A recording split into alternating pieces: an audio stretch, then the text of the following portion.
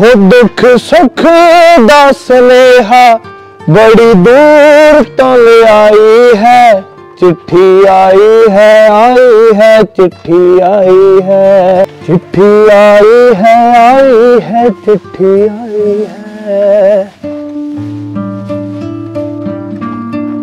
ਉਹ ਕੋਈ ਹੈਗਾ ਘਰੇ? ਭਾਈ, ਚਿੱਠੀ ਲੈ ਜਾਓ ਬੇਬੇ, ਲੱਗਦਾ ਬਾਪੂ ਦੀ ਚਿੱਠੀ ਆਈ ਆ। ਭੱਜ ਕੇ ਫੜ ਕੇ ਲਈ।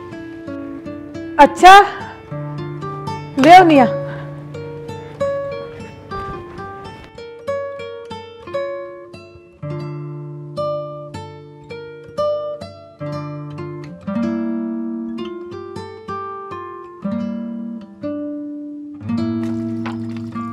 ਵੀ ਆ ਗਈ ਭਾਈ। ਲਿਆ ਫੜਾ ਭਾਈ ਜੀ। ਸਤਿ ਸ਼੍ਰੀ ਅਕਾਲ ਮਾਤਾ। ਸਤਿ ਸ੍ਰੀ ਅਕਾਲ ਪੁੱਤ। ਤੂੰ ਅੱਜ ਨਵਾਂ ਹੀ ਆਇਆ ਹੈ? ਉਹ ਮਾਤਾ ਮੇਰੀ ਬਦਲੀ ਹੋ ਗਈ ਮੈਂ ਤਾਂ ਹਲੇ 15 ਦਿਨ ਹੋ ਗਏ ਹੁਣੀ ਆਉਣ ਲੱਗਿਆ। ਲੈ ਮਾਰ ਮੜਾ ਜਾਂ ਘੁੱਗੀ ਉਰੇ। ਗੁੱਗੀ ਪੁੱਤ ਮੈਂ ਤਾਂ ਜਿਵੇਂ ਪਹਿਲਾਂ ਲਿਖਦੀ ਹੁੰਦੀ ਹੀ ਜੇ ਲਿਖੂੰਗੀ ਬਸ।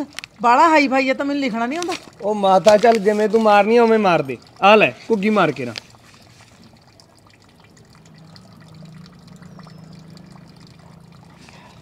ਠੀਕ ਹੈ ਮਾਤਾ। ਆ ਲਓ ਮਾਤਾ ਤੁਹਾਡੀ ਚਿੱਠੀ। ਗਲਾਬੋ ਨੀ ਗਲਾਬੋ?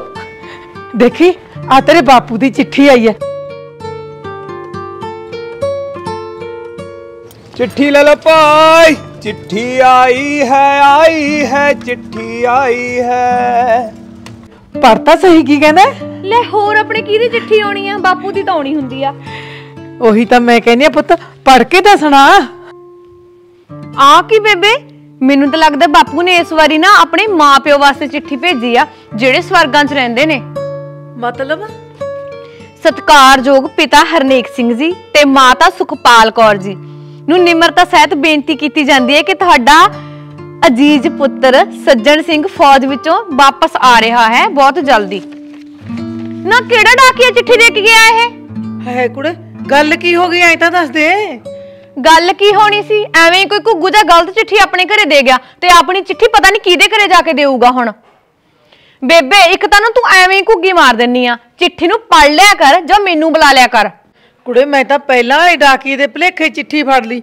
ਮੈਨੂੰ ਕੀ ਪਤਾ ਸੀ? ਆ ਤਾਂ ਨਵਾਂ ਜਿਹਾ ਸ਼ੋਰ ਹੋਰ ਹੀ ਆਇਆ ਸੀ। ਮੈਨੂੰ ਤਾਂ ਲੱਗਦਾ ਇਹਨੂੰ ਚਿੱਠੀਆਂ ਫੜਾਉਣ ਦੀ ਅਕਲੇ ਨਹੀਂ ਹੈਗੀ। ਮੈਂ ਮਰ ਜਾ ਹੁਣ ਕੀ ਕਰਾਂਗੇ ਆਪਾਂ? ਹੁਣ ਤਾਂ ਇਹਦਾ ਇੱਕੋ ਹੀ ਹੱਲ ਆ ਬਸ। ਹੱਲ ਕੀ ਹੈਗਾ? ਦੱਸ। ਜਾ ਬੇਬੇ ਮੇਰਾ ਫੋਨ ਚੱਕ ਕੇ ਲਿਆ।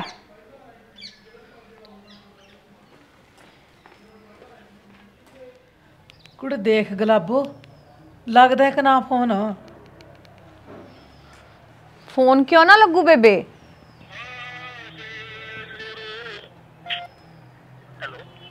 ਹੈਲੋ?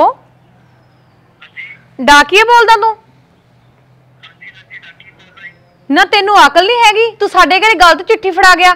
ਸਾਡੇ ਬਾਪੂ ਦੀ ਚਿੱਠੀ ਪਤਾ ਨਹੀਂ ਤੂੰ ਕਿੱਥੇ ਫੜਾਈ ਹੋਣੀ।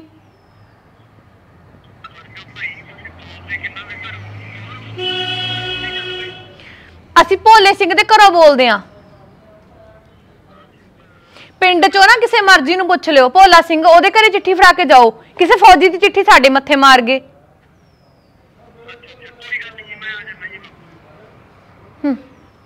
ਮੈਂ ਆ ਜਾਣਾ ਜੀ ਵਾਪਸ। ਨਾ ਆਏਗਾ ਕਿਉਂ ਨਹੀਂ ਤੂੰ? ਜਦੋਂ ਗਲਤ ਚਿੱਠੀ ਫੜਾ ਕੇ ਜਾਣਾ ਅਗਲੇ ਦੇ ਘਰੇ। ਲੈ ਹੋਰ ਆ ਨਵਾਂ ਹੀ ਆਇਆ ਸੀਗਾ। ਉਹ ਪਹਿਲਾਂ ਵਾਲਾ ਮੁੰਡਾ ਤਾਂ ਵਧੀਆ ਚਿੱਠੀ ਫੜਾ ਕੇ ਜਾਂਦਾ ਹੁੰਦਾ ਸਹੀ। ਬੇਬੇ ਇਹਦੇ ਵਿੱਚ ਸਾਰੀ ਗਲਤੀ ਤੇਰੀ ਆ। ਤੂੰ ਮੈਨੂੰ ਪੜਾਉਣੀ ਸੀ ਪਹਿਲਾਂ। ਨਾ ਉਹ ਅਨਪੜ੍ਹ ਨੂੰ ਐ ਨਹੀਂ ਆਉਂਦਾ ਹੈਗਾ ਵੀ ਮੈਂ ਇੱਕ ਤਾਂ ਡਾਕੀਆ ਕਹੋ ਨਾ ਆਪਦੇ ਆਪ ਨੂੰ ਨਾਮ ਨਹੀਂ ਪੜਨਾ ਆਇਆ ਲੈ। ਬਲਕੌਰ ਸਿੰਘ ਦੀ ਚਿੱਠੀ ਭੇਜਤੀ ਕਿਸੇ ਦੀ। ਲੈ ਦੇਖ ਲੈ ਆ ਮੈਨੂੰ ਤਾਂ ਭਾਈ ਪੜ੍ਹਨੀ ਨਹੀਂ ਆਉਂਦੀ ਹੈਗੀ। ਮੈਂ ਤਾਂ ਬਸ ਇੱਕ ਉਹ ਘੁੱਗੀ ਜੀ ਮਾਰੇ ਹੀ ਮੜ ਜੀ ਮੈਂ ਕਿਹਾ ਚਿੱਠੀ ਫੜਾ ਜੂਗਾ। ਹੁਣ ਮੈਨੂੰ ਕੀ ਪਤਾ ਸੀ ਵੀ ਗਲਤ ਫੜਾ ਗਿਆ। ਯਾਰ ਜਿਹੜੇ ਹਿਸਾਬ ਨਾਲ ਇਹਨਾਂ ਦੀਆਂ ਬੁੜੀਆਂ ਬੋਲਦੀਆਂ ਸੀ ਨਾ ਉਹੀ ਨਾ ਕਿਤੇ ਗਲ ਪੈ ਜਾਣ। ਮੇਰੇ ਤੋਂ ਐਡੀ ਗਲਤੀ ਕਿਵੇਂ ਹੋ ਗਈ? ਵੀ ਮੈਂ ਚਿੱਠੀ ਪੜ੍ਹ ਕੇ ਨਹੀਂ ਫੜਾਈ। ਚੱਲ ਦੇਖਦੇ ਆਂ।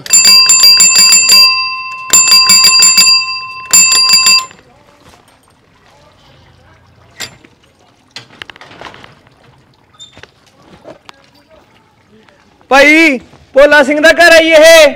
ਆਹੋ ਆਹੀ ਘਰ ਹੈ ਭੋਲਾ ਸਿੰਘ ਦਾ। ਆ ਜਾ ਬੇਬੇ। ਚੱਲ ਪੁੱਤ।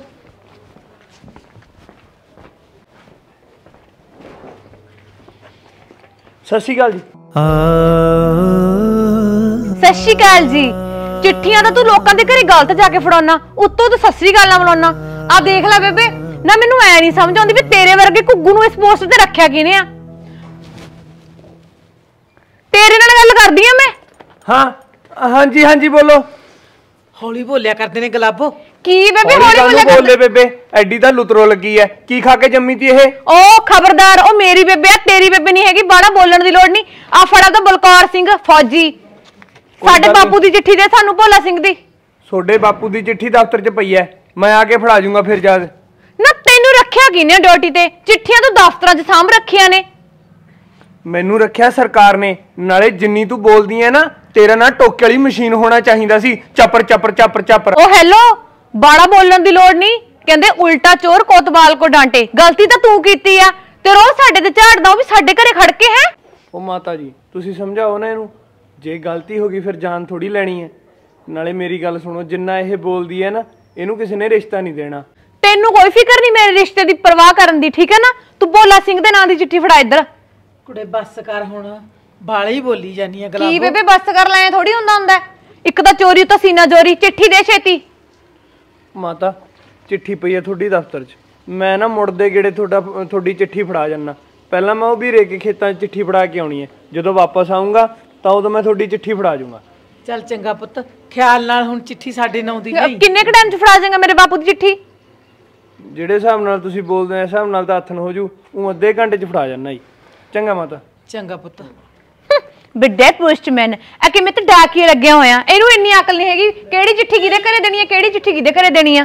ਚੱਲ ਗਲਾਬੋ ਕੋਈ ਨਾ ਪੁੱਤ। ਬਾਲਾ ਗਰਮ ਨਹੀਂ ਹੋਇਆ ਕਰਦੇ। ਫੜਾ ਜੂਗਾ ਚਿੱਠੀ। ਗਲਤੀ ਲੱਗ ਜਾਂਦੀ ਉਹ ਬੇਬੇ ਮਸਾ ਦਾ ਬਾਪੂ ਦੀ ਚਿੱਠੀ ਆਈ ਸੀ। ਇੱਕ ਤਾਂ ਇੰਨੇ ਵਾਰ ਕਹਿਤਾ ਵੀ ਬਾਪੂ ਨੂੰ ਫੋਨ ਦਵਾ ਦਿਓ ਫੋਨ ਦਵਾ ਦਿਓ ਕੋਈ ਫੋਨ ਹੀ ਨਹੀਂ ਦਵਾਉਂਦਾ ਲੈ ਦੱਸ ਮੈਂ ਕਿੱਥੋਂ ਦਵਾਦਾ ਦਬਾਉਣ ਨੂੰ ਪਹਿਲਾਂ ਉਹ ਜਵਾਕ ਹੈਗਾ ਆਪੇ ਨਹੀਂ ਲੈਂਦਾ ਹੈਗਾ ਫੋਨ 20 ਵਾਰੀ ਕਿਹਾ ਹੈਗਾ। ਸਾਰੇ ਪਿੰਡ ਦੇ ਚਿੱਠੀਆਂ ਵੰਡਤੀਆਂ ਹੁਣ ਤਾਂ ਚੱਲ ਘਰੇ ਚੱਲਦੇ ਆ। ਉਹ ਸੱਚ, ਉਹਨਾਂ ਦਾ ਡੰਮ ਕੇ ਆਉਣਾ ਮੱਥਾ, ਉਹਨਾਂ ਦੇ ਘਰੇ ਵੀ ਫੜਾ ਕੇ ਆਉਣਾ? ਯਾਰ ਕਹਿਣ ਨੂੰ ਤਾਂ ਕੀ ਕਹਿਣਾ, ਕੁੜੀ ਕਿੰਨੀ ਸੋਹਣੀ ਸੀ, ਹਨਾ? ਜਮਾ ਸਿੰਪਲ ਤੇ ਸੋਬਰ, ਹਨਾ? ਹਾਏ ਓਏ। ਰਿਸ਼ਤਾ ਨਹੀਂ ਦੇਣਾ, ਰਿਸ਼ਤਾ ਤਾਂ ਤੇਰਾ ਮੈਂ ਵੈਸੇ ਵੀ ਨਹੀਂ ਹੋਣ ਦੇਣਾ। ਗੱਲਾਂ ਕੀ ਕਰਦੀ ਐ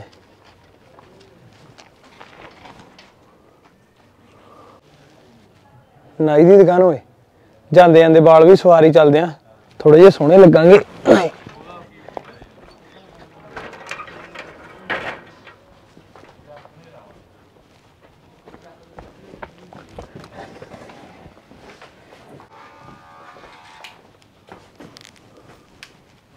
ਤੇਰੀ ਭੈਣ ਨੂੰ ਐਂ ਵਗ ਗਿਆ ਸੀ ਓਏ ਵਾਲਾਂ ਦਾ ਹਾਲ ਤਾਂ ਦੇਖ ਲੈ। ਵੀਰੇ ਹਾਂਜੀ। ਯਾਰ ਡਰਾਇਰ ਲਾਉਣੀ ਸੀ ਲਾ ਦੇ। ਹਾਂ ਲਾ ਦਾਂਗੇ ਵੀਰੇ। ਹਾਂ ਆ ਯਾਰ ਲਾਈ ਮੜਾ ਯਾਰ ਬਾਈ ਬਣ ਕੇ।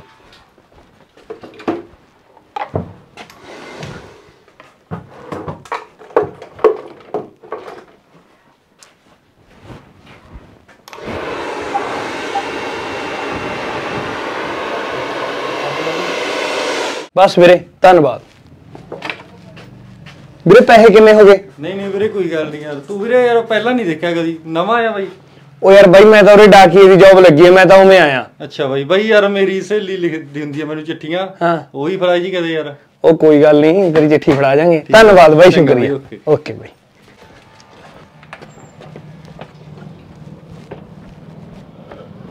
ਤੁਹਾਡੀ ਭੈਣ ਨੂੰ ਆਸ਼ਕੀ ਦੇ ਚੱਕਰ 'ਚ ਝੋਲੀ ਭੁੱਲ ਗਿਆ ਸੀ। ਜੂਤ ਬਹੁਤ ਪੈਂਦਾ ਸਰਕਾਰ ਤੋਂ। ਤੂੰ ਤਾਂ ਲੱਗਣ ਤੋਂ ਪਹਿਲੀ ਸਸਪੈਂਡ ਹੋ ਗਿਆ ਦੀ ਸਰਬਾਲਿਆ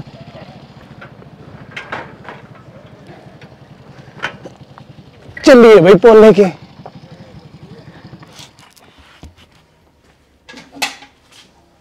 ਮਾਤਾ ਜੀ। ਹਾਂ ਪੁੱਤ। ਆ ਲਓ ਤੁਹਾਡੀ ਚਿੱਠੀ ਜਿਹੜੀ ਰਹਿ ਗਈ ਸੀ ਭੋਲਾ ਸਿੰਘ। ਹੁਣ ਤਾਂ ਸਹੀ ਹੈ ਪੁੱਤ। ਹਾਂਜੀ ਬਿਲਕੁਲ ਸਹੀ ਹੈ। ਠੀਕ ਹੈ ਪੁੱਤ। ਚੰਗਾ ਜੀ ਮਾਤਾ ਜੀ ਹੈ। ਚੰਗਾ ਪੁੱਤ ਠੀਕ ਹੈ।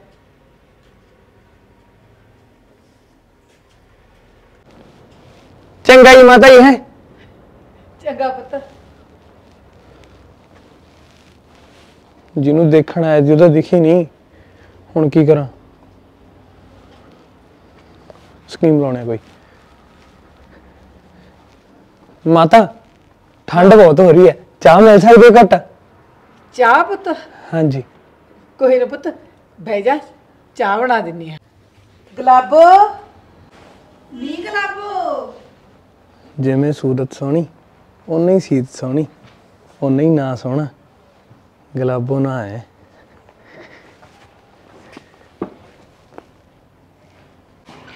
ਸੋਨੇ ਦਾ ਚੁਬਾਰਾ ਤੇ ਰੰਗੀਨ ਵਾਰੀਆਂ ਦਾ ਕੋਈ ਕੀ ਕਰੂਗਾ? ਤੇਰੀਆਂ ਅੱਖਾਂ ਦੇ ਵਿੱਚ ਤੱਕ ਲਵਾਂਗੇ ਜਦੋਂ ਜੀ ਕਰੂਗਾ। ਚਾਹ ਕਿਹਦੇ ਵਾਸਤੇ ਬਣਾਉਣੀ ਸੀ? ਪੁੱਤ ਆ ਤੇਰੇ ਬਾਪੂ ਦੀ ਚਿੱਠੀ ਆਈ ਹੈ। ਬਾਪੂ ਦੀ ਚਿੱਠੀ ਕੌਣ ਫੜਾ ਕੇ ਗਿਆ? ਬੇਬੇ ਇਹਨੂੰ ਮੰਜੇ ਤੇ ਕਾਹਨੂੰ ਚੜਾ ਲਿਆ ਤੁਸੀਂ ਨੇ? ਕੋਈ ਨਾ ਪੁੱਤ ਚਾਹ ਦੀ ਘੁੱਟ ਮੰਗਦਾ ਵਿਚਾਰਾ ਠੰਡ ਹੈਗੀ ਸਾਈਕਲ ਤੇ ਫਿਰਦਾ ਚਿੱਠੀਆਂ ਵੰਡਦਾ ਇੱਕ ਘੁੱਟ ਚਾਹ ਦੀ ਪਿਆ ਦਿੰਨੇ ਆ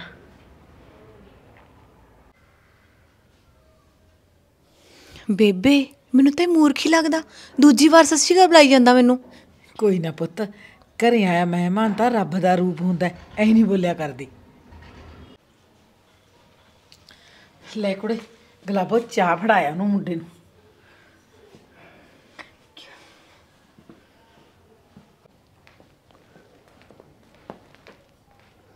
ਗੱਲ ਸੁਣਿਓ। ਆ ਗਾਉਂਦਾ ਕੌਣ ਸੀਗਾ ਜੀ? ਇਹ ਨਾ ਸਾਡੇ ਇੱਕ ਗਵੰਡਨ ਰੱਖੀ ਹੋਈ ਐ ਇਸਨੇ ਗਾਉਣ ਵਾਸਤੇ। ਜਦੋਂ ਉਹ ਗਾਉਂਦੀ ਹੈ ਨਾ ਉਹਦੀ ਆਵਾਜ਼ ਇੱਥੇ ਤੱਕ ਸੁਣਦੀ ਆ। ਨਹੀਂ ਮੈਂ ਤਾਂ ਇਹ ਕਹਿੰਦਾ ਸੀ ਵੀ ਜਿਹੜਾ ਵੀ ਗਾਉਂਦਾ ਨਾ ਬਹੁਤ ਸੋਹਣਾ ਗਾਉਂਦਾ। ਤੇ ਉਹਨੂੰ ਤਾਂ ਕਲਾਸਾਂ ਲੈਣ ਦੀ ਵੀ ਲੋੜ ਨਹੀਂ। ਕਲਾਸਾਂ ਲੈਣ ਦੀ ਲੋੜ ਉਹਨੂੰ ਹੁੰਦੀ ਆ ਜਿਹਨੂੰ ਸੁਰ ਤੇ ਤਾਲ ਦਾ ਪਤਾ ਨਹੀਂ ਹੁੰਦਾ। ਜਿਹੜਾ ਤੇਰੇ ਵਰਗਾ ਘੁੱਗੂ ਹੁੰਦਾ। ਸੁਣ ਸੋਣੀਏ ਜਗਦੇ ਨੇ ਤਾਰੇ। ਸੁਣ ਸੋਣੀਏ ਜਗਦੇ ਨੇ ਤਾਰੇ। ਮੈਨੂੰ ਸੁਹੇ, ਸੂਹੇ ਲੱਗੀ ਜਾਂਦੇ ਰੰਗ ਸਾਰੇ। ਮੈਨੂੰ ਸੁਹੇ, ਸੂਹੇ ਲੱਗੀ ਜਾਂਦੇ ਰੰਗ ਸਾਰੇ।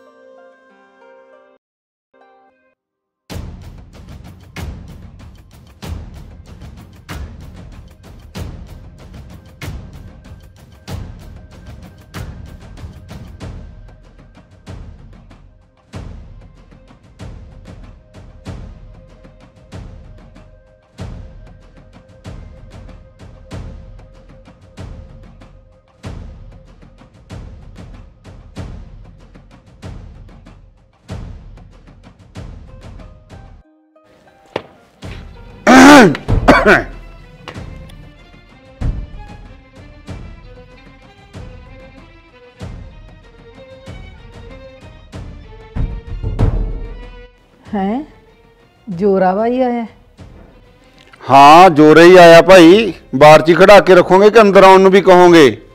ਆ ਜਾ ਆ ਜਾ ਬਾਈ ਲੰਘਿਆ।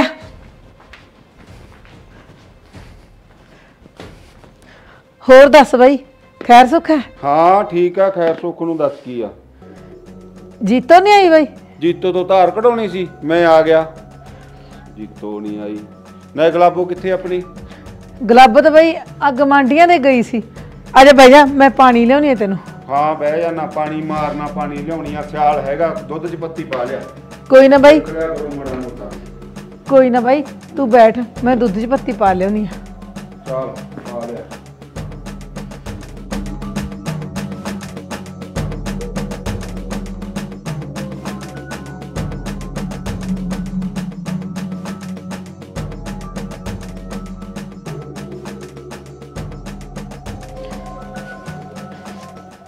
ਲੈ ਬਾਈ ਦੁੱਧ ਪੀ ਲੈ।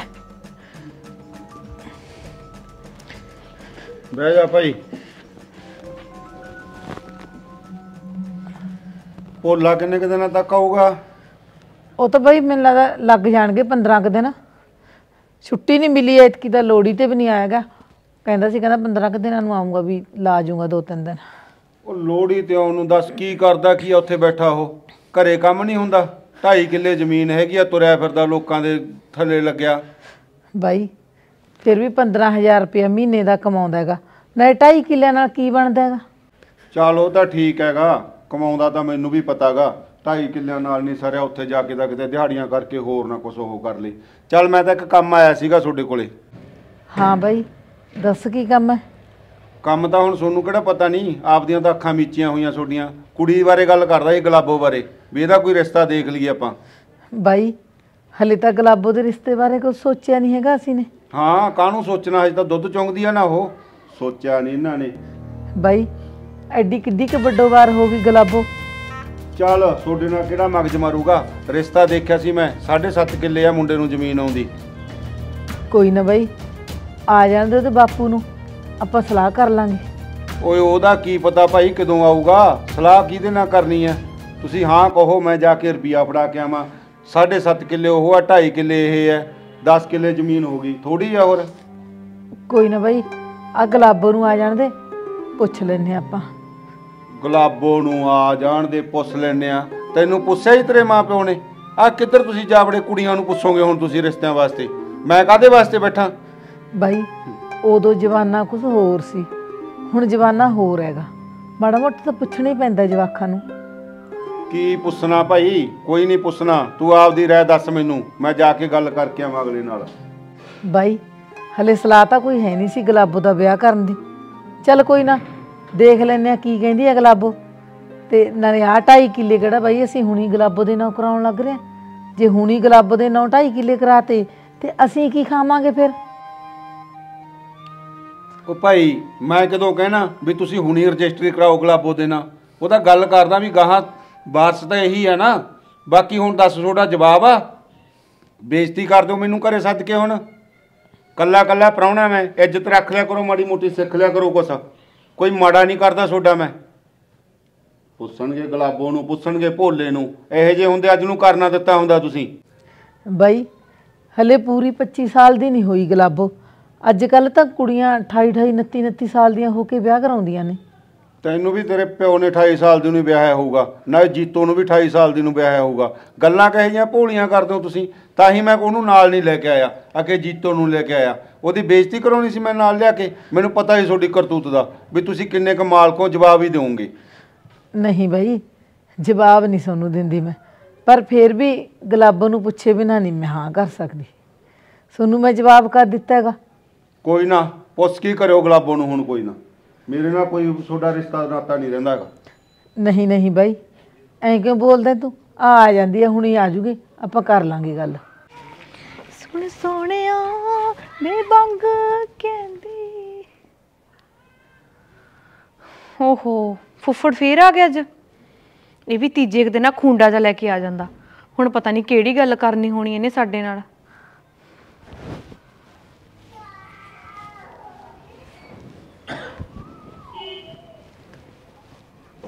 ਆ ਆ ਗਈ ਬਾਈ। ਓਏ ਆ ਤਾਂ ਗਈ ਭਾਈ ਮਾੜਾ ਮੋਟਾ ਇਹਨੂੰ ਸਮਝਾਇਆ ਕਰ। ਸਤਿ ਸ਼੍ਰੀ ਅਕਾਲ ਫੁੱਫੜ ਜੀ। ਸਤਿ ਸ੍ਰੀ ਅਕਾਲ ਤਾਂ ਠੀਕ ਆ ਪੁੱਤ। ਕਿੱਧਰ ਤੁਰੀ ਫਿਰਦੀ ਆ ਤੂੰ? ਉਹ ਤਾਂ ਫੁੱਫੜ ਜੀ ਮੇਰੀ ਸਹੇਲੀ ਕੇ ਘਰੇ ਗਈ ਸੀ ਮੈਂ। ਪੁੱਛਣ ਜੀ ਮੜਾ ਜਾ ਅੱਛਾ ਮਾਂ ਭੂਆ ਠੀਕ ਸੀਗੀ? ਹਾਂ ਠੀਕ ਸੀ ਭੂਆ ਤਾਂ। ਅੱਛਾ। ਹਾਂ। ਪੁੱਤ ਤੇਰਾ ਫੁੱਫੜ ਜੀ ਕੰਮ ਆਏਗਾ। ਹਾਂਜੀ ਫੁੱਫੜ ਜੀ। ਦੱਸ ਦੇ ਭਾਈ ਤੂੰ ਹੀ ਦੱਸ ਦੇ। ਅਮ, ਫੁੱਫੜ ਵਾਸਤੇ ਚਾਹ ਪਾਣੀ ਬਣਾਉਣੀ ਹੈ ਮੈਂ ਤੁਸੀਂ ਕਰ ਲਓ ਗੱਲਾਂ। ਪੁੱਤ ਮੈਂ ਪਿਆ ਤਾ ਦੁੱਧ ਤੇਰੇ ਫੁੱਫੜ ਜੀ ਨੂੰ। ਇਹ ਗੁਲਾਬੋ ਤੇਰਾ ਫੁੱਫੜ ਨਾ ਤੇਰੇ ਰਿਸ਼ਤੇ ਦੀ ਗੱਲ ਕਰਦਾ ਹੈ। ਮੇਰੇ ਰਿਸ਼ਤੇ ਦੀ ਗੱਲ? ਫੁੱਫੜ ਜੀ ਤਾਂ ਮਜ਼ਾਕ ਕਰਦੇ ਹੋਣਗੇ ਲੈ ਭਲਾ ਹਾਲੇ ਤਾਂ ਮੇਰੀ ਉਮਰ ਫੁੱਫੜ ਜੀ ਪੂਰੀ 25 ਸਾਲ ਦੀ ਵੀ ਨਹੀਂ ਹੋਈ ਹੈਗੀ ਮੈਂ ਹਾਲੇ ਕਿੱਥੋਂ ਵਿਆਹ ਕਰਵਾ ਲੂੰਗੀ? ਉਹ ਪੁੱਤ ਮੈਂ ਕੋਈ ਮਜ਼ਾਕ ਨਹੀਂ ਕਰਦਾ ਹੈਗਾ। ਧੀਆਂ ਬੇਲੇ ਸਿਰ ਆਪਦੇ ਘਰੇ ਵਗ ਜਾਣ ਨਾ ਇਹੀ ਵਧੀਆ ਹੁੰਦਾ। ਮੈਂ ਕੁਛ ਸੋਚ ਸਮਝ ਕੇ ਆਇਆਗਾ। ਪਰ ਮੈਂ ਤਾਂ ਹਾਲੇ ਫੁੱਫੜ ਜੀ ਅੱਗੇ ਪੜਨਾ ਮੈਂ ਤਾਂ ਵਿਆਹ ਕਰਾਉਣਾ ਹੀ ਨਹੀਂ ਹੈਗਾ ਹਾਲੇ। ਕੋਈ ਨਾ ਆਪੇ ਉੱਥੇ ਪੜਾ ਦੂ ਅਗਲਾ ਉੱਥੇ ਪੜ ਲਈ। ਲੈ ਫੁੱਫੜ ਜੀ ਉੱਥੇ ਕੌਣ ਪੜਾ ਦੂਗਾ? ਅਗਲਾ ਕੋਈ ਨਹੀਂ ਪੜਾਉਂਦਾ ਹੁੰਦਾ। ਮੈਂ ਤਾਂ ਹਾਲੇ ਬੇਬੇ ਨੂੰ ਕਹਿ ਦੋ ਫੁੱਫੜ ਨੂੰ ਮੈਂ ਤਾਂ ਹਾਲੇ ਪੜਨਾ ਅੱਗੇ ਹੋਰ। ਉਹ ਪੜ ਕੇ ਕਿਹੜਾ ਤੂੰ ਮਾਸਟਰ ਨੂੰ ਲੱਗਣਾ ਭਾਈ ਹੁਣ? ਬਾਈ ਮੈਂ ਤੇਰੀ ਮਾਂ ਨੂੰ ਵੀ ਦੱਸ ਕੇ ਹਟਾਂਗਾ ਵੀ 7.5 ਕਿੱਲੇ ਜ਼ਮੀਨ ਆ ਜੱਟਾਂ ਕੋਲੇ। ਫਿਰ ਫੁੱਫੜ ਜੀ ਤੁਸੀਂ ਆਪਦੀ ਪ੍ਰੀਤ ਦਾ ਰਿਸ਼ਤਾ ਕਰ ਦੋ ਨਾ ਉਹ ਤਾਂ ਮੈਥੋਂ ਵੀ ਇੱਕ ਸਾਲ ਵੱਡੀ ਹੈਗੀ। ਉਹਦਾ ਹੁੰਦਾ ਨਹੀਂ ਰਿਸ਼ਤਾ ਨਹੀਂ ਤਾਂ ਉਸੇ ਦੇ ਕਰ ਦਿੰਦਾ ਫਿਰ ਸੋਡੇ ਨਹੀਂ ਸੀ ਆਉਂਦਾ ਮੈਂ। ਫਿਰ ਮੈਂ ਤਾਂ ਹਾਲੇ ਕਰਾਉਣਾ ਨਹੀਂ ਹੈਗਾ ਫੁੱਫੜ ਜੀ ਵਿਆਹ। ਕਰਾਉਣਾ ਨਹੀਂ ਹੈਗਾ। ਸਮਝਾ ਦਿਆ ਕਰੋ ਕੁਛ ਕਿਵੇਂ ਬੋਲੀ ਦਾ ਵੱਡਿਆਂ ਨੂੰ। ਸਿੱਧਾ ਜਵਾਬ ਦੇ ਜਾਂਦੀ ਆ ਮੈਂ ਤਾਂ ਕਰਾਉਣਾ ਨਹੀਂ ਹੈਗਾ। ਫੁੱਫੜਾ ਤੇਰਾ ਮੈਂ ਕਰਾਉਣਾ ਨਹੀਂ ਇਹਨੇ। ਗਲਾਬੋ ਫਿਰ ਫੁੱਫੜ ਜੀ ਤੁਹਾਨੂੰ ਜੀ ਕਹਿ ਕੇ ਤਾਂ ਮੈਂ ਗੱਲ ਕਰਦੀ ਆ। ਮੈਂ ਕਿਹੜਾ ਤੁਹਾਨੂੰ ਕੁਝ ਬੋਲਦੀ ਆ? ਮੈਂ ਤਾਂ ਇੰਨੀ ਕਿਹਾ ਵੀ ਮੈਂ ਵਿਆਹ ਕਰਾਉਣਾ ਨਹੀਂ ਹੈਗਾ ਹਲੇ। ਨਾਲੇ ਜਦੋਂ ਮੇਰੇ ਬਾਪੂ ਆ ਗਿਆ ਮੇਰੇ ਬਾਪੂ ਨਾਲ ਗੱਲ ਕਰ ਲਿਓ। ਗਲਾਬੋ ਪੁੱਤ ਐ ਨਹੀਂ ਬੋਲਿਆ ਕਰਦੇ ਕੋਈ ਨਾ। ਤੂੰ ਤਾਂ ਬੇਬੇ ਹਰੇਕ ਮੂਰੇ ਰੀਨੀ ਕਰਨ ਲੱਗ ਜਾਨੀ ਹੁੰਨੀ ਐ। ਤੂੰ ਸਿੱਧਾ ਕਿਉਂ ਨਹੀਂ ਜਵਾਬ ਦਿੰਦੀ ਵੀ ਅਸੀਂ ਆਪਦੀ ਕੁੜੀ ਦਾ ਰਿਸ਼ਤਾ ਨਹੀਂ ਕਰਦੇ ਹੈਗੇ? ਆਪਦੀ ਕੁੜੀ ਨੂੰ ਕਰ ਲਓ ਰਿਸ਼ਤਾ ਬਈ ਜਿਹੜੀ ਹਾਲੇ ਮੈਥੋਂ ਵੱਡੀ ਬੈਠੀ ਆ। ਬਾਈ। ਦੇਖ ਲੈ ਗੱਲਾਂ। ਜੀ ਕਹਿ ਕੇ ਤਾਂ ਡਾਂਗ ਮਾਰ ਮੇਰੇ ਸਿਰ ਤੇ। ਫਿਰ ਕਹਿੰਦੀ ਮੈਂ ਤਾਂ ਜੀ ਕਿਹਾ ਸੀਗਾ। ਗੱਲਾਂ ਕਰਦੀ ਐ। ਕੋਈ ਨਾ ਬਾਈ ਗੁੱਸਾ ਨਾ ਕਰੇਦਾ ਨਿਆਣੀ ਹੈਗੀ। ਕਾਹਦਾ ਗੁੱਸਾ? ਤੁਸੀਂ ਚਮਲਾ ਰੱਖੀ ਐ। ਉਹ ਘਰੇ ਨਹੀਂ ਹੈਗਾ ਇਹਨੂੰ ਕਿਸੇ ਦਾ ਡਰ ਨਹੀਂ। ਚਾਬਰ ਚਾਬਰ ਬੋਲਣ ਜਾਣਦੀ ਆ। ਮੈਂ ਤਾਂ ਕਿਤੇ ਸੁਧਰ ਗਈ ਹੂ ਮਾੜਾ ਮੋਟਾ ਬੋਲਣਾ ਸਿੱਖ ਗਈ ਹੋਊਗੀ। ਮੈਨੂੰ ਤਾਂ ਥੋੜੀ ਸਮਝ ਨਹੀਂ ਆਉਂਦੀ ਬੇਬੇ। ਤੁਸੀਂ ਫੁੱਫੜ ਨੂੰ ਇੰਨੀ ਜ਼ਿਆਦਾ ਪਹਿਲ ਕਿਉਂ ਦਿੰਦੇ ਹੋ? ਹਰੇਕ ਘਰ ਦਾ ਕੋਈ ਵੀ ਮਾਮਲਾ ਹੋਵੇ ਇਹਦੀ ਟੰਗ ਫਸਾਉਣੀ ਜ਼ਰੂਰੀ ਹੁੰਦੀ ਹੈ ਫੁੱਫੜ ਦੀ। ਪੁੱਤ ਫੇਰ ਵੀ ਘਰ ਦਾ ਜਮਾਈ ਭਾਈ ਹੈ ਰੱਖਣੀ ਪੈਂਦੀ ਹੈ ਇੱਜ਼ਤ ਪਰਾਉਣੇ ਤਰਾਉਣੇ ਦੀ। ਕੀ ਬੇਬੇ ਹੁਣ ਫੁੱਫੜ ਬੁੜਾ ਤਾਂ ਹੋ ਰਿਹਾ ਕੀ ਜਵਾਈ ਭਾਈ ਰਹਿ ਗਿਆ? ਜਵਾਈ ਭਾਈ ਨਾ ਆਪਦੀ ਥਾਂ ਸਿਰ ਹੁੰਦਾ ਐ ਥੋੜੀ ਹੁੰਦਾ ਹਰੇਕ ਮਾਮਲੇ 'ਚ ਟੰਗ ਫਸਾਓ ਆ ਕੇ। ਬੋਲਦਾ ਦੇਖ ਲੈ ਕਿਵੇਂ ਸੀ ਬਾਪੂ ਨੂੰ। ਕਮਲੀ ਕਹਿੰਦੀ ਕਿ ਬੁੜਾ ਹੋ ਰਿਹਾ ਪੁੱਤ ਚਾਹੇ ਬੁੜਾ ਹੋ ਰਿਹਾ ਆਖਰ ਨੂੰ ਪਰਾਉਣਾ ਤਾਂ ਹੈ ਇਸ ਘਰ ਦਾ। ਫਿਰ ਪਰੋਣਾ ਤਾਂ ਬੇਬੇ ਇਹ ਸਾਰੀ ਉਮਰ ਹੀ ਰਹੂਗਾ। ਆਈ ਅੱਕ ਲੱਗਿਆ ਰਹੂ ਆਪਾਂ ਨੂੰ ਇਹ। ਕੋਈ ਨਾ ਕੋਈ ਨਾ। ਜਦੋਂ ਹੁਣ ਤੇਰਾ ਵਿਆਹ ਹੋ ਗਿਆ ਛੋਟਾ ਪਰਾਉਣਾ ਆ ਗਿਆ ਫਿਰ ਘਟ ਜੂ ਇਹਦੀ ਇੱਜ਼ਤ ਆਪੇ। ਮੇਰਾ ਵਿਆਹ ਤਾਂ ਜਦੋਂ ਮਰਜ਼ੀ ਕਰ ਦਿਓ। ਪਰ ਜਿਹੜਾ ਰਿਸ਼ਤਾ ਫੁੱਫੜ ਕਰਾਉਂਦਾ ਨਾ ਉੱਥੇ ਤਾਂ ਮੈਂ ਜਮੇ ਹੀ ਨਹੀਂ ਕਰਾਉਂਦੀ। ਕੋਈ ਨਾ ਪੁੱਤ ਐਂ ਨਹੀਂ ਕਰਿਆ ਕਰਦੇ। ਦੇਖਦੇ ਆਂ ਆਪਾਂ ਕੀ ਹੁਣ ਬਣੂਗਾ ਵੀ। ਬੇਬੇ ਫੁੱਫੜ ਦਾ ਤੈਨੂੰ ਪਤਾ ਹੈ ਨਾ ਇਹ ਆਪਣਾ ਚੰਗਾ ਥੋੜੀ ਚਾਹੁੰਦਾ। ਇਹ ਤਾਂ ਹਮੇਸ਼ਾ ਮਾੜਾ ਹੀ ਸੋਚਦਾ ਹੈ। ਇਹਨੇ ਤਾਂ ਕਦੇ ਚਾਹਿਆ ਹੀ ਨਹੀਂ। ਇਹ ਮੈਨੂੰ ਸਭ ਪਤਾ। ਆਪਦੀ ਕੁੜੀ ਦਾ ਰਿਸ਼ਤਾ ਕਦੇ ਵਧੀਆ ਜਗ੍ਹਾ ਤੇ ਕਰੂਗਾ ਤੇ ਮੈਨੂੰ ਡੋਬਣਾ ਇਹਨੇ ਕਿਸੇ ਨਸ਼ੇੜੀ ਨਾਲ। ਕਾਹਨੂੰ ਪੁੱਤ? ਤੇਰੇ ਬਾਪੂ ਨੂੰ ਵੀ ਨਾ ਪੁੱਛੇ ਤਾਂ ਹਾਂ ਵੀ ਨਹੀਂ ਕਰਦੇ। ਆ ਜਾਣਦੇ ਤੇਰੇ ਬਾਪੂ ਨੂੰ। ਤੂੰ ਨਾ ਟੈਨਸ਼ਨ ਲੈ। ਬੇਬੇ ਬਾਪੂ ਵੀ ਤਾਂ ਤੇਰੇ ਵਰਗਾ ਭੋਲਾ ਹੀ ਆ ਉਹਦੀ ਫੁੱਫੜ ਪਿੱਛੇ ਲੱਗ ਜਾਂਦਾ। ਫਿਰ ਕੀ ਕਰੀਏ ਹੁਣ? ਤੈਨੂੰ ਪਤਾ ਹੀ ਹੈ ਪਹਿਲਾਂ ਤੋਂ ਹੀ ਬਸ ਇਹਦੀ ਐਂ ਬਣੀ ਹੋਈ ਹੈਗੀ। ਉਵੇਂ ਜੁੱਕੀ ਦਬ ਕੇ ਰਹਿਣਾ ਪੈਂਦਾ ਫਿਰ। ਬੇਬੇ ਇੰਨਾ ਦਬ ਕੇ ਨਹੀਂ ਰਹੀਦਾ ਹੁੰਦਾ। ਬਸ ਮੈਨੂੰ ਨਹੀਂ ਪਤਾ ਮੈਂ ਤਾਂ ਇੱਥੇ ਵਿਆਹ ਕਰਾਉਣਾ ਨਹੀਂ ਜਿੱਥੇ ਫੁੱਫੜ ਕਰਾਊਗਾ। ਨਾਲੇ ਹਾਲੇ ਤਾਂ ਮੈਂ ਸੋਚੀ ਹੀ ਨਹੀਂ ਵਿਆਹ ਬਾਰੇ। ਹਾਲੇ ਤਾਂ ਮੈਂ ਬਹੁਤ ਵੱਡੀ ਕਲਾਕਾਰ ਨਹੀਂ ਬਣਨਾ। ਦੋ ਚਾਰ ਗਾਣੇ ਆਉਣ ਤੋਂ ਪਹਿਲਾਂ ਮੇਰੇ। ਲੈ ਮੈਂ ਕਿਹੜਾ ਸੋਚਿਆ ਤੇਰੇ ਵਿਆਹ ਵੇਲੇ? ਹਲੇ ਤਾਂ ਪੁੱਤ ਮੇਰਾ ਵੀ ਸੁਪਨਾ ਹੈ ਵੀ ਮੇਰੀ ਧੀ ਕੁਛ ਬਣੇ। ਪਰ ਇਸ ਹਿਸਾਬ ਨਾਲ ਤਾਂ ਨਹੀਂ ਮੈਂ ਕੁਝ ਬਣਦੀ। ਜਿਹੜੇ ਹਿਸਾਬ ਨਾਲ ਤੁਸੀਂ ਫੁੱਫੜ ਦੀ ਹਾਂ ਚ ਆਮੀ ਭਰਦੇ ਹੋ। ਪੁੱਤ ਕੋਈ ਨਾ ਉਹਦਾ ਵੀ ਰੱਖਣਾ ਪੈਂਦਾ ਮਾੜਾ ਮੋਟਾ ਮੂੰਹ ਮਲਾ ਜਾ ਜਾ ਬੀਬੇ ਮੈਨੂੰ ਐ ਦੱਸ ਫੁੱਫੜ ਰਹੂਗਾ ਕਿ ਜਾਊਗਾ? ਦੇਖੋ ਕਿਹੜਾ ਤਾਂ ਭੱਜ ਭੱਜ ਕੇ ਜੀ ਪੈਂਦਾ ਸੀ। ਕੀ ਪਤਾ ਮੈਂ ਕਿਹਾ ਕਿ ਭਾਈ ਰਹਿ ਕੋਈ ਨਾ। ਇੱਕ ਤਾਂ ਮੂੰਹ ਚੱਕ ਕੇ ਕੱਲਾ ਹੀ ਆ ਜਾਂਦਾ। ਜੀਤਾ ਭੂਆ ਨੂੰ ਤਾਂ ਕਦੇ ਲੈ ਕੇ ਨਹੀਂ ਆਇਆ ਨਾਲ ਵਿਚਾਰੀ ਨੂੰ। ਮੈਂ ਕਿਹਾ ਸੀ ਮਾਂ ਬਈ ਤੂੰ ਜੀਤੋ ਨੂੰ ਲੈ ਆਉਂਦਾ ਨਾਲ। ਹਲੇ ਤਾਂ ਉਲਟਿਆ ਫੇਰ ਵੀ ਮੇਰੇ ਗਲ ਪੈ ਗਿਆ। ਕਹਿੰਦਾ ਜੇ ਜੀਤੋ ਨੂੰ ਨਾਲ ਲਿਆਉਂਦਾ ਉਹਦੀ ਚੰਗੀ ਇੱਜ਼ਤ ਕਰਕੇ ਤੋਰਦੇ ਤੁਸੀਂ। ਭੂਆ ਤਾਂ ਆਪਣੀ ਕਿੰਨੀ ਚੰਗੀ ਹੈ ਵਿਚਾਰੀ। ਆ ਸੜੇ ਹੋਏ ਬੰਦੇ ਦੇ ਮੱਥੇ ਪਤਾ ਨਹੀਂ ਕਿੱਥੋਂ ਮਾਰੀ ਉਹ। ਤਨ ਜਿਗਰਾ ਭੂਆ ਦਾ ਜੀਤੋ ਦਾ ਵਿਚਾਰੀ ਦਾ। ਜਿਹੜੀ ਇਹੋ ਜਿਹੇ ਮਲੰਗ ਬੰਦੇ ਨਾਲ ਕੱਟਦੀ ਹੈ ਮੈਨੂੰ ਤਾਂ ਨਾ ਬੇਬੇ ਤੇ ਬੜਾ ਹੀ ਗੁੱਸਾ ਚੜਦਾ ਤੈਨੂੰ ਪਤਾ ਨਹੀਂ ਕਿਉਂ ਇਹਦਾ ਮੋਹ ਆਉਂਦਾ ਇੰਨਾ। ਚੰਗਾ ਚੁੱਪ ਕਰ ਜਾ। ਕਮਲੀ ਲੈ। ਐ ਨਹੀਂ ਬੋਲਿਆ ਕਰਦੇ ਪੁੱਤ। ਜਿੱਦੇ ਤੇਰਾ ਪ੍ਰਾਹੁਣਾ ਆ ਗਿਆ ਉਦੋਂ ਪਤਾ ਲੱਗੂ ਤੈਨੂੰ ਵੀ ਇੱਜ਼ਤ ਕਿਵੇਂ ਕਰੀਦੀ ਆ ਪ੍ਰਾਹੁਣੇ ਧਰਾਉਣੇ ਦੀ। ਜਾਂ ਜਦੋਂ ਤੂੰ ਸੌਰੀ ਬਾਗੀ ਉੱਥੇ ਤੇਰੇ ਨਣਦੋਈਏ ਆਉਣਗੇ ਫੇਰ ਪਤਾ ਲੱਗੂ ਤੈਨੂੰ। ਕੋਈ ਨਾ ਜਿੱਦੇ ਮੇਰਾ ਪ੍ਰਾਹੁਣਾ ਆ ਗਿਆ ਉਦੋਂ ਵੀ ਦੇਖ ਲਿਓ। ਮੈਂ ਇੰਨਾ ਸਿਰ ਤੇ ਨਹੀਂ ਚੜਾਉਂਦੀ ਤੁਹਾਡੇ ਵਾਂਗੂ ਜਿਵੇਂ ਤੁਸੀਂ ਚੜਾ ਰੱਖੀ ਨਾਲੇ ਹੁਣ ਕਹੂਗਾ ਤੱਤੀਆਂ ਤੱਤੀਆਂ ਰੋਟੀਆਂ ਲਾ ਦੋ ਭਾਈ ਰੋਟੀ ਖਾਊਂਗਾ ਮੈਂ ਤਾਂ ਨਾਲੇ ਘਰੋਂ ਡੱਫ ਕੇ ਆਉਂਦਾ। 4 ਕਿਲੋਮੀਟਰ ਵੀ ਨਹੀਂ ਹੈਗਾ ਪਿੰਡ। ਚੱਲ ਕੋਈ ਨਾ ਗਲਾਬੋ ਪੁੱਤ ਤੂੰ ਵੀ ਨਾ ਬੜਾ ਗੁੱਸਾ ਕਰਿਆ ਕਰ। ਇਹ ਤਾਂ ਜਿਹਾ ਜਿਹਾ ਹੈਗਾ ਹੈਗਾ। ਮੋਹ ਬੇਬੇ ਉਸ ਬੰਦੇ ਦਾ ਕਰਿਆ ਜਾਂਦਾ ਹੁੰਦਾ ਜਿਹੜਾ ਆਪ ਸੋਚਦਾ ਆਪਣੇ ਬਾਰੇ। ਚੱਲ ਕੋਈ ਨਾ ਤੂੰ ਨਾ ਆ ਚਾਹ ਉਬਲ ਗਈ ਦੁੱਧ ਲਿਆ ਪਾਈਏ ਚ ਦੁੱਧ ਪਾਈ ਲਈ। ਨਵਾ ਦੋ ਇਹ ਜਿਹਨੂੰ ਦੁੱਧ ਨਾਲ ਤੁਸੀਂ। ਚੜਾ ਲਓ ਸਿਰ ਤੇ। ਵੀ ਕੋਈ ਨਾ ਚੱਲੀ।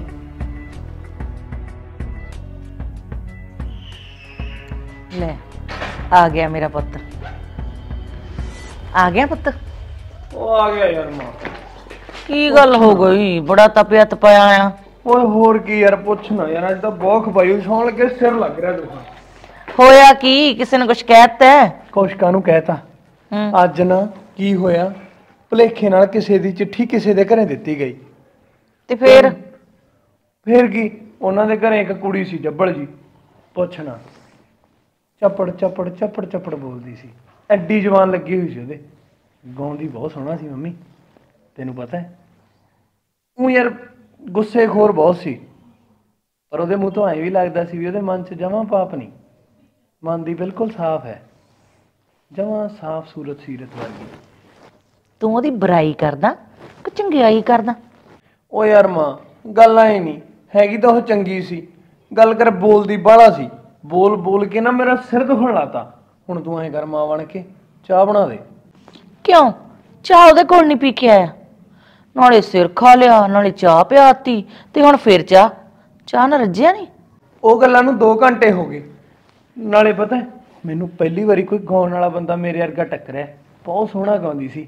ਜਦੋਂ ਗਾਉਂਦੀ ਸੀ ਨਾ ਐਂ ਲੱਗਦਾ ਸੀ ਜਿਵੇਂ ਕੰਧਾਂ ਵੀ ਬੋਲਦੀਆਂ ਨੇ ਵਾ। ਕੌਣ ਬੋਲਦੀਆਂ? ਕੰਧਾਂ ਉਹ ਯਾਰ ਇੰਨਾ ਸੋਹਣਾ ਗਾਉਂਦੀ ਸੀ ਮੈਂ ਤਾਂ ਐ ਸੋਚਦਾ ਵੀ ਜੇ ਮੈਂ ਤੇ ਉਹ ਇਕੱਠੇ ਗਾਉਣ ਲੱਗ ਜੀਏ ਨਾ ਦੀਪ ਢਿੱਲੋਂ ਤੇ ਜੱਸੀ ਜੈਸਮੀਨ ਵਾਂਗੂ ਫੇਮਸ ਹੋ ਜਾਾਂਗੇ। ਜਿਨ੍ਹਾਂ ਦਾ ਉਹ ਗਾਣਾ ਨਹੀਂ ਮਾਰ ਸੋਹਣਿਆ ਕੈਂਚੀ ਰੇਟਰ ਸੁੱਕਾ ਜਾਵੇ ਨਾ। ਵੇ ਚੁੱਪ ਕਰ।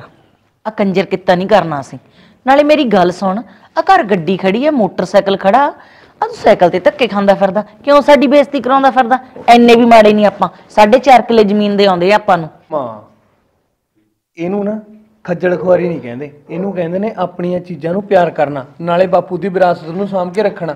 ਹੁਣ ਬਾਪੂ ਵਾਲਾ ਸਾਈਕਲ ਹੈ ਬਾਪੂ ਨੇ ਆਹਾ ਸਾਈਕਲ ਤੇ ਜਾ ਜਾ ਕੇ ਆਪਣਾ ਸਾਰਾ ਘਰ ਬਣਾਇਆ ਬੇਬੇ। ਨਾ ਮੋਟਰਸਾਈਕਲ ਵੀ ਬਾਪੂ ਦਾ ਹੀ ਆ ਗੱਡੀ ਵੀ ਬਾਪੂ ਦੀ ਹੈ ਉਹ ਚਲਾ ਲਿਆ ਕਰ ਨਾ ਮੈਂ ਠੰਡ 'ਚ ਮਰਦਾ ਰਹਿੰਦਾ। ਉਹ ਮਾਂ ਉਹ ਮੋਟਰਸਾਈਕਲ ਤੇਰੇ ਵਿਆਹ 'ਚ ਦਿੱਤਾ ਸੀ ਨਾਲੇ ਗੱਡੀ ਤਾਂ ਹੁਣ ਲਈ ਐ। ਨਾਲੇ ਮੈਨੂੰ ਤਾਂ ਇਹ ਚੀਜ਼ ਐ ਵੀ ਜੇ ਮੈਂ ਸਾਈਕਲ ਚਲਾਉਣੇ ਬੰਦ ਕਰਤੇ ਨਾ ਵੀ ਕਿਤੇ ਸਾਈਕਲ ਹੀ ਨਾ ਲੋਪ ਹੋ ਜਾਣ। ਜਿਵੇਂ ਪਹਿਲਾਂ ਮੋਟਰਸਾਈਕਲ ਆ ਗਏ ਨਾ ਸਾਈਕਲਾਂ ਨੂੰ ਛੱਡ ਕੇ ਉਦੋਂ ਪਹਿਲਾਂ ਹੁੰਦੇ ਸੀ ਬਲਦ ਰੇੜੀਆਂ ਗੱਡੇ। ਉਦੋਂ ਪਹਿਲਾਂ ਜਿਵੇਂ ਹੁਣ VCR ਦਾ ਜ਼ਮਾਨਾ ਹੁੰਦਾ ਸੀ ਹੁਣ ਐਲਈਡੀਆਂ ਆ ਗਈਆਂ। ਬਸ ਕਰ ਮੇਰੇ ਗੁਰੂ ਕਿਉਂ ਦਿਮਾਗ ਚੱਟੀ ਜਾਂਦਾ ਮੇਰਾ? ਬਹੁਤ ਸਿਆਣਾ ਬਣਦਾ। ਹੁਣ ਚਾਹ ਪੀਣੀ ਹੈ ਕਿ ਨਹੀਂ? ਉਹ ਚਾਹ ਤਾਂ ਪੀ ਲਾਂਗੇ। ਜੇ ਤੂੰ ਪਿਆਰ ਨਾਲ ਬਣਾਏਗੀ, ਤਾਂ ਚਾਹ ਪੀਵਾਂਗੇ। ਹਾਂ, ਜਿਵੇਂ ਤੂੰ ਬਾਪੂ ਨੂੰ ਬੋਲਦੀ ਹੁੰਨੀ ਐ ਕਈ ਵਾਰੀ ਜੇ ਐਂ ਚਾਹ ਬਣਾਏਗੀ, ਫਿਰ ਨਹੀਂ ਬਾਈ ਚਾਹ ਪੀਂਦੇ। ਫਿਰ ਤਾਂ ਜਿਹੜੀ ਉਹਨਾਂ ਨੇ ਪੀ ਕੇ ਆਇਆ, ਉਹੀ ਬੜੀ ਸਵਾਦ ਸੀ। ਖਚਰਾ।